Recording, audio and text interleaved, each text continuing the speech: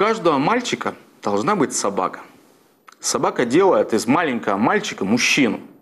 Она лучше любых учителей может научить ответственности, заботе и любви. Когда на тебя смотрят преданные, влюбленные глаза твоего пса, немыслимо быть трусливым, ленивым или вредным. В этом большом мире, где все принадлежит взрослым, твой пес только твой и ничей больше. Из всех на свете людей только тебя он признает своим единственным хозяином и готов, не задумываясь, отдать весь мир, лишь бы тебе было хорошо. В Грузии, в горных деревнях раньше был обычай, когда мальчику исполнялось 6 лет, ему дарили щенка кавказской овчарки. С этого времени мальчик уже считался мужчиной, будущим воином, охотником, пастухом. Благословенные мальчики, которым посчастливилось получить в детстве собаку. В моем детстве собаки не было, и покупать мне ее родители не собирались. Как я не просил, не плакал, моля их подарить мне, как у моих друзей, которые жили в своих домах, но в нашей маленькой, неблагоустроенной двухкомнатной квартирке родители твердо сказали мне нет. Но пес у меня, милостью Божией, все равно появился. На соседней улице, где мы часто играли с мальчишками в разные игры, в большом старинном доме жила семья, в которой было двое детей, мальчик и девочка.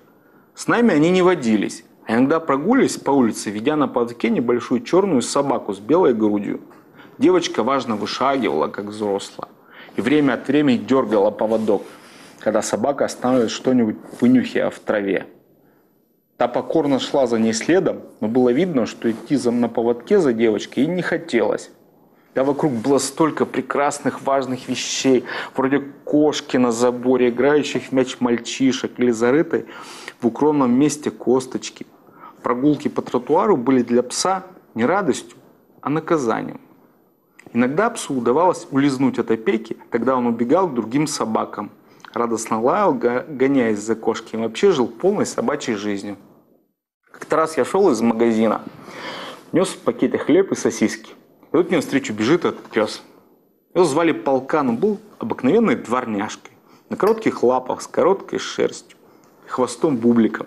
Он со мной поравнялся, учил сосиски, завилял хвостом, мол, угостишь? Конечно, я угостил. Я скормил псу почти половину пакета, а он позволил погладить за ухом и даже почесать живот. А потом проводил меня до самого дома. Так началась наша дружба. Иногда я брал из дома косточки и приносил их к этому дому.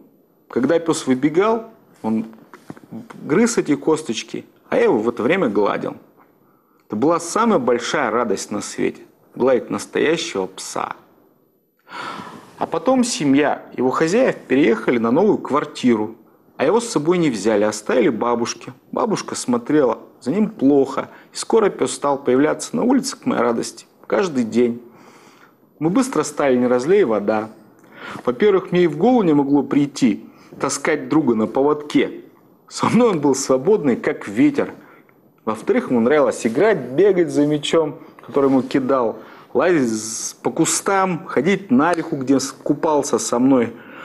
Ну и в-третьих, конечно, я каждый день приносил ему косточки, там, пирожок или котлету.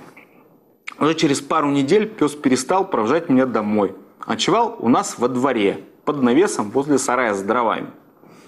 Я сделал для него место, постелив старую фуфайку. Родители, конечно, удивлялись, когда увидели, что у них возле сарая живет чужая собака. Мама спросила, что за дела. Я честно ей все рассказал. Ты же видишь, я говорю, я его не держу, ему нравится у нас. Пусть он живет, ну, пожалуйста. Мама у меня покачала головой, потом говорит, ну давай так. Если этого пса придут искать, мы его дадим безо всяких разговоров. А пока пусть живет. Ну, так на том порешили. Недели через три, когда мы с полканом, как обычно, после школы играли на улице, неподалеку от старого дома, где он когда-то жил, неожиданно приехали его старые хозяева. На их окрик он к ним подошел, нерешительно виляя хвостом, дал себя погладить и тут же вернулся ко мне. Мне как-то стало неловко за его такое вот холодное поведение. Я сам повел его к ним. Хотя делать этого мне, честно, совсем не хотелось. Женщина достала что-то вкусное из сумки, дала девочке, чтобы та покормила пса. Но стоило той протянуть руку, как неожиданно для всех, Пес на нее зарычал, ощетинясь. Он стоял ко мне спиной, решительно расставив свои маленькие кривые ножки и рычал на своих собственных хозяев, готовых искусать. Увидев это, мужчина сказал, посмотрите, он защищает от нас этого мальчика. Теперь это его собака, не наш. Увел семью в дом, а мне на прощание сказал, я рад за тебя, полкан хороший пес. Жаль, мы не смогли стать его друзьями. Береги его, нам все равно держать было негде. Потом мы с полканом спрятались за сараем, где нас никто не видел. Я гладил его и говорил, что он мой лучший друг. А он прыгал вокруг, радостно повизгивал, лизал мне лицо и руки, словно говоря, «Ничего не бойся, хозяин, я тебя никому не отдам». Так у меня появилась своя собака, с которой мы были верными, добрыми друзьями. Такие дела.